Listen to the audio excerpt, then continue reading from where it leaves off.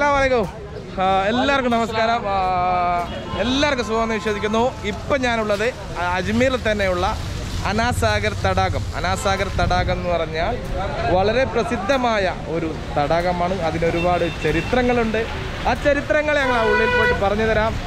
അവിടെ പോകേണ്ട വഴി എന്ന് വെച്ചാൽ അജ്മീറിൽ നിന്ന് gate number one gate number one നേരെ നടന്ന് ഒന്നര കിലോമീറ്ററേ ഉള്ളൂ. നല്ല രസത്തിൽ നടക്കാം. പക്ഷെ ഞാൻ വന്നത് ഇപ്പോൾ ഞങ്ങൾ വന്നത് ടാക്സിക്കാണ് വന്നത്. ഓട്ടോനാണ് വന്നത്. ഓട്ടോന് ഒരാൾക്ക് ഇരുപത്തഞ്ച് രൂപ. ഓട്ടോ അല്ലെങ്കിൽ ഞങ്ങൾക്ക് പിന്നെ കുതിര കുതിര സഫാരി ചെയ്യാം. ഇതാ കുതിര സഫാരി ചെയ്യാം. കുതിരക്കും അത്ര തന്നെ ആകത്തുള്ളൂ അപ്പം പിന്നെ ഇവിടെ കയറുന്ന എൻട്രൻസ് ഫീ ഇരുപത്തി അഞ്ച് രൂപയാണ്. ഇങ്ങോട്ട് കയറുന്നത്. ഇരുപത്തഞ്ച് രൂപ എൻട്രൻസ് ഫീ കൊടുത്തിട്ടാണ് ഇവിടുന്ന് പിന്നെ കയറ്റി വിടത്തുള്ളൂ. ഓക്കെ ഇനി അതിന്റെ ഉള്ളിൽ പോയിട്ട് വിശേഷങ്ങൾ ഉള്ളിൽ പോയിട്ടുള്ള വിശേഷങ്ങൾ പറയാം. ഒരുപാട് ചരിത്ര പ്രസിദ്ധമാണ്. സ്കിപ്പ് ചെയ്യാതെ കാണുക. ഉള്ളിലോട്ട് പ്രവേശിച്ചു. നല്ല മഴയാണ്. എവിടെ പോകാൻ പറ്റില്ല. ഇന്നലെ ഞങ്ങൾക്ക് പോകാൻ പറ്റിയില്ല. ഇന്നലെ ഇറങ്ങിയതാണ്. ഇന്നലെ ഞങ്ങൾക്ക് പോകാൻ പറ്റിയില്ല. ഇന്ന് നോക്കുമ്പോൾ നല്ല മഴയാണ്. രാവിലെ തന്നെ ഇപ്പം തന്നെ സമയം ലേറ്റായി. ഓ നല്ല വ്യൂ പോയിന്റ് ഒക്കെ ഉണ്ട് കേട്ടോ ഇവിടുന്ന് നല്ല കോടമഞ്ഞൊക്കെ വരുന്നുണ്ട്. നമുക്ക് നോക്കാം ഇവിടുത്തെ വിശേഷങ്ങൾ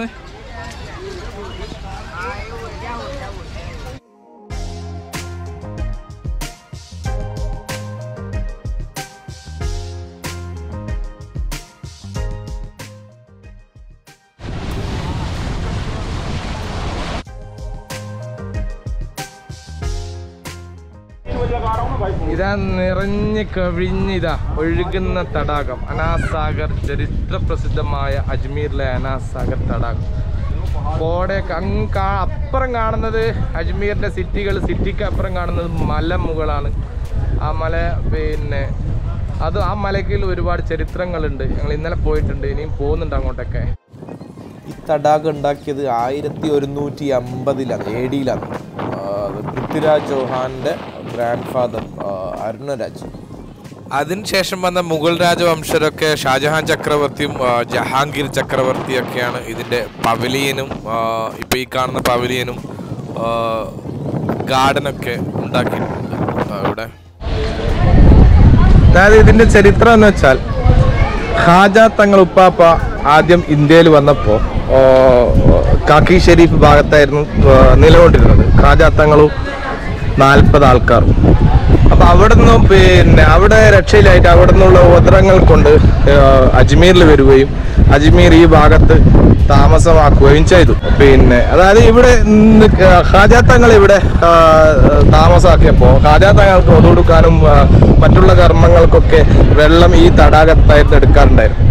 അങ്ങനെ ഈ തടാകത്തിന് എടുക്കാറുണ്ടായപ്പോൾ അപ്പോൾ ഇവിടുത്തെ പൃഥ്വിരാജ് ഭരണകർത്താക്കന്മാർ രണ്ടാം പൃഥ്വിരാജ ഭരണകർത്താക്കന്മാരിൽ പെട്ടവർ ഹാജ തങ്ങളുടെ വെള്ളം എടുക്കുന്നത് ഏഹ് ബുദ്ധിമുട്ടാക്കുകയും അവരെ അതിന് പിന്നെ തടസ്സം നിൽക്കുകയും ചെയ്തു. അങ്ങനെ ഹാജ തങ്ങൾ ഏഹ് വെള്ളം എടുക്കുന്നത് തടസ്സം നിൽക്കും അവർക്ക് പിന്നെ വെള്ളം കിട്ടാതായി. വെള്ളം കിട്ടാതായപ്പം തന്നെ ഹാജ തങ്ങൾ അപ്പം അത് പിന്നെ ഹാജ തങ്ങൾ വിഷമായി.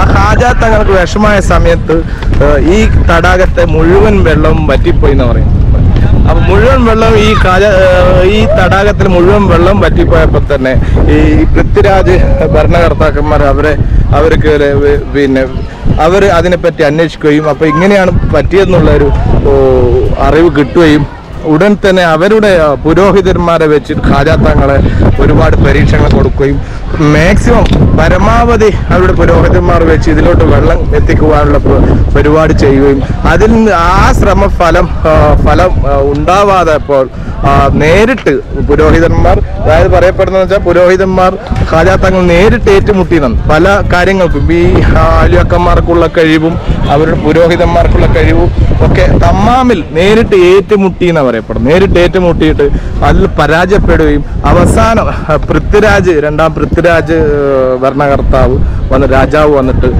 തങ്ങൾ തങ്ങളുപ്പാപ്പയോട് ക്ഷമ ചോദിക്കുകയും അങ്ങനെ തങ്ങളുപ്പാപ്പ പിന്നെ ക്ഷമിക്കുകയും അവസാനം തങ്ങളുപ്പാപ്പയുടെ അടുത്തുണ്ടായിരുന്ന ഒരു കപ്പ് വെള്ളം ഒരു കപ്പ് വെള്ളം കൊണ്ടുവന്നിട്ട് ഇവിടെ ഒഴിക്കുകയും ഈ തടാകം പിന്നെ അങ്ങോട്ട് വെള്ളമായിട്ട് നിറയുകയും ഈ ആ വെള്ളം അന്ന് കവിഞ്ഞൊഴുകിയ വെള്ളം ഇന്നും ഈ തടാകത്തിന് ആ വെള്ളമായിട്ട് നിലകൊള്ളുന്നു എന്നുള്ളതാണ് ഇതിന്റെ ചരിത്രം.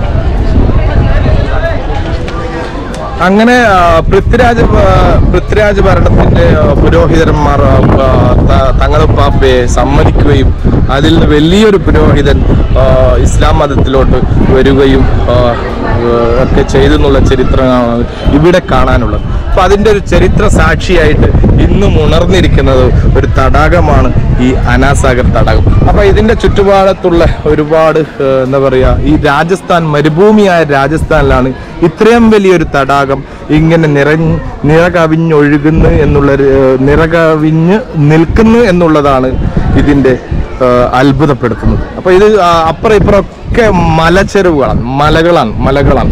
ഇപ്പോൾ അണക്കെട്ടോ കാര്യങ്ങളോ ഒന്നുമില്ല.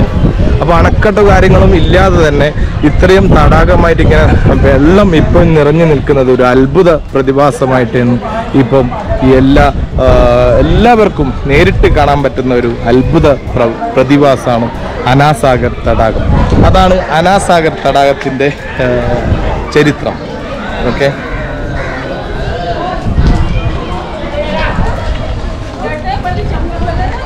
ഇത് തടാകത്തിലേക്ക് ഇറങ്ങുന്ന വഴിയായിരുന്നു. പണ്ട് മുതലേ ഉള്ള വഴിയാണ് ഇപ്പൊ ഇവിടെ ബന്ധാക്കിയിട്ടാണ് ഉള്ളത് ഇതിന്റെ ഈ ഈ- തട ഈ തടാകത്തിൽ ഇപ്പൊ മഴയായി കഴിഞ്ഞാൽ നല്ല മഴയൊക്കെ നല്ല വെള്ളം വന്നു കഴിഞ്ഞാൽ ഇവിടം വരെ ഏകദേശം മേലെ മുകൾ മുകൾ ഭാഗത്ത് വരെ വെള്ളം വരും. പക്ഷെങ്കിൽ സിറ്റികൾക്കോ എവിടെയും ഒരു ഒരു വിധത്തിലും ബാധിക്കാത്ത രീതിയിൽ അവരെന്താ ചെയ്യാന്ന് വെച്ചാൽ അപ്പുറം ചെറിയൊരു ഒഴുക്കുണ്ട്. ഒരു ചെറിയൊരു കനാല് നിർമ്മിച്ചിട്ടുണ്ട്. അതിലൂടെ അവർ ഒഴുക്കി വിടുക ചെയ്യുക ആ കനാല് ഞാൻ കാണിച്ചാൽ ഇപ്പൊ കേട്ടോ. അതായത് ഇവിടെ ഈ കരണ്ടിനോ ഒന്നിനും ഉപയോഗിക്കുന്നില്ല. വലിയൊരു അണക്കെട്ടോ കാര്യങ്ങളോ ഇല്ല. ഒന്നിനും ഉപയോഗിക്കാതെ തന്നെ ഗവൺമെന്റ് ഇതിനെ വളരെ ശ്രദ്ധയോടുകൂടി സൂക്ഷിക്കുക. ഇതിലെ ഇതാ ഇതിലൂടെ അങ്ങോട്ട് കൂടുതലായി കഴിഞ്ഞാൽ ഇതിലൂടെ ഒഴുക്കി വിടും. ഇതിലൂടെ ഇതാ ഇത് ഈ ചെറിയൊരു അണക്കെട്ട് പോലെ ആക്കിയിട്ടുള്ളു. ഇതിലൂടെ ഇങ്ങനെ ഒഴുക്കിതാ അവിടം വരെ എത്തി. ഇനി കൂടുതലായി കഴിഞ്ഞാൽ കുറച്ചിങ്ങോട്ടേക്ക് കാണുന്നുണ്ടോ? അവിടുന്ന് വെള്ളം കാണുന്നില്ല. അപ്പൊ അത് ഇങ്ങനെ ഇതാ ഇതിലേ കൂടി ഇങ്ങനെ ഒഴുക്കി ചെറിയൊരു കനാലാണ്. ഇതിലൂടെ ഇതിലൂടെ ഇങ്ങനെ ഒഴുകി ഒഴുകിപ്പോവും. ഇതിലൂടെ അങ്ങ് ഒഴുകി പോയിട്ട് പിന്നെ അങ്ങ് പുഴയിൽ പോവാന്നാ പറഞ്ഞ.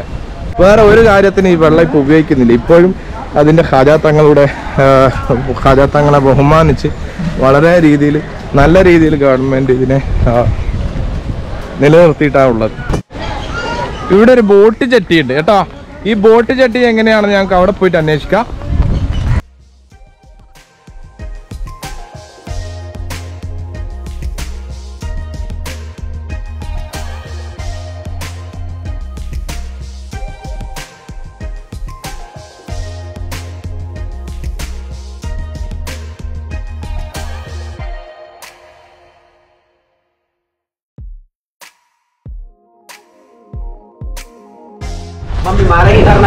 ജാക്കറ്റ് എല്ലാം ഇട്ടാ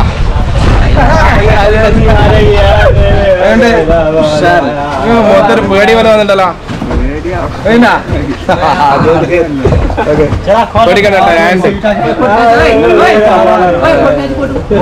വേണം കേട്ടോ. നല്ല ഫുള്ള് ജാക്കറ്റൊക്കെ ഇട്ടിട്ടാണ് പരിപാടി. ബോട്ട് യാത്രയ്ക്ക് നൂറ് രൂപ. അതായത് റൗണ്ട് അടിക്കണമെങ്കിൽ നൂറ് രൂപ. പിന്നെ അതായത് മോട്ടോർ ബോട്ട്. സ്പീഡ് ബോട്ടിന് ഇരുന്നൂറ് റുപ്യ കേട്ടാ. ചാർജ്.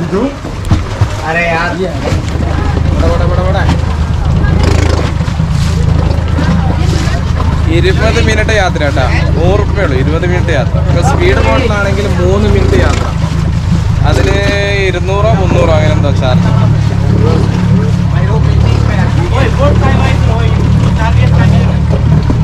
പേടിയാകുന്നു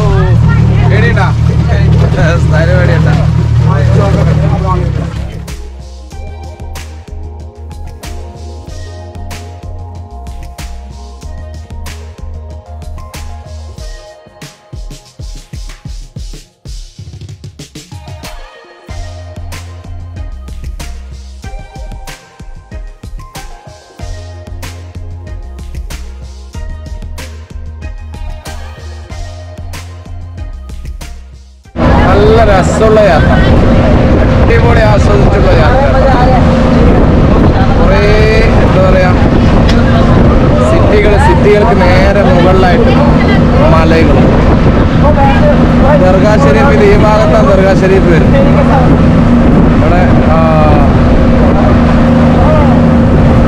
മൊഹീദ്ദീൻ ഹാദിറായ പള്ളി ഇവിടുന്ന് കാണാം.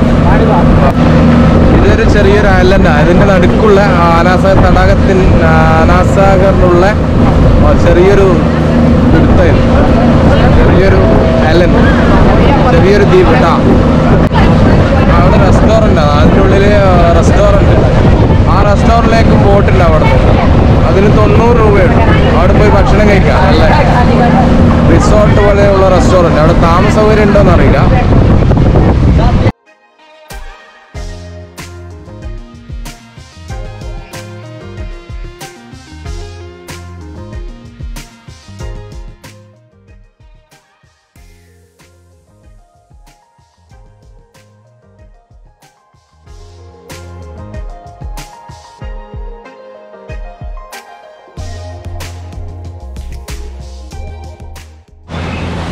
തടാകത്തിന് ചുറ്റുമായിട്ട് ഒരു ലീക്ക് വാക്കൊക്കെ ഉണ്ട് കേട്ടോ. അതായത് തടാകത്തിന്റെ സൈഡിലൂടെ നടത്തം അതങ്ങനെയായിട്ട് ഒരു ഫുഡ് കോർട്ട് വരുന്നുണ്ട്. ലാസ്റ്റ് ലീക്ക് ഫുഡ് കോർട്ട് ഉണ്ട്.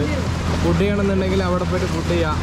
ഞങ്ങൾ കയറിയത് പാസ് കൊടുത്തിട്ടില്ല കയറിയത് അത് ഗാർഡന് അവിടെ വ്യൂ കാണാൻ വേണ്ടിയിട്ട് അതിന്റെ ഉള്ളിൽ. ബോട്ടിംഗ് കയറാൻ വേണ്ടി. അപ്പോൾ ഇതിന്റെ സ്ഥലം അതായത് അജ്മീരിൽ അത്രയും തിരക്ക് പിടിച്ച അജ്മീർ നിങ്ങൾ ദുവാക്കെ കഴിഞ്ഞ് സിയാർത്തൊക്കെ കഴിഞ്ഞ് സമയമുണ്ടെങ്കിൽ വൈകിട്ടൊക്കെ വന്നിട്ട് ഒരു സമാശ്വാസത്തിന് ഇവിടെ വന്നിട്ടും ദുവാക്കെ ചെയ്യാം. അപ്പോൾ ഇവിടെ വന്നിട്ട് ഒരു ആശ്വാസത്തിന് നല്ല രീതിയിലൊരു ഒരു സമാധാനത്തിൽ കുറച്ച് സമയം ഇരിക്കണം എന്നുണ്ടെങ്കിൽ ഈവനിങ്ങിലൊക്കെ വന്നു കഴിഞ്ഞാൽ ഒരു അസറിന് വന്നു കഴിഞ്ഞാൽ നല്ല നല്ലൊരു സമാധാനം കിട്ടും ഇവിടെ. അപ്പോൾ അപ്പോൾ ഈ ഇതിലൂടെ ഇങ്ങനെ കുറച്ച് നടക്കാം. അപ്പുറത്ത് അത് അപ്പുറത്തെ വേറെ വഴി ഇത് വേറെ വഴി. അങ്ങനെയൊക്കെ വ്യത്യസ്തമായ വഴിയിലൂടെ എത്തണം കേട്ടോ. ഇതിന്റെയൊക്കെ വഴി എൻട്രൻസ് ഒക്കെ എവിടെയാണ് നോക്കാൻ ഇതിപ്പോൾ നമ്മൾ കാണാം. അപ്പോൾ ആ ഗാർഡന്റെ അപ്പുറമുണ്ട് ഒരു വഴി അതായത് ആ ഒരു അമ്പലമുണ്ട് അവിടെ. ആ ടെമ്പിൾ ഉണ്ടാവും അതിലേക്ക് കൂടി ലേക്ക് വ്യൂ ഫുഡ് കോർട്ട് ഇതൊക്കെ ഇങ്ങനെ വീക്ഷിച്ച് ഫുഡ് ചെയ്യാം. യാത്രയുടെ എൻഡാകാണ് ബോട്ട് യാത്രയുടെ അവസാനിക്കാണ്. ബോട്ട് യാത്ര. അടിപൊളി.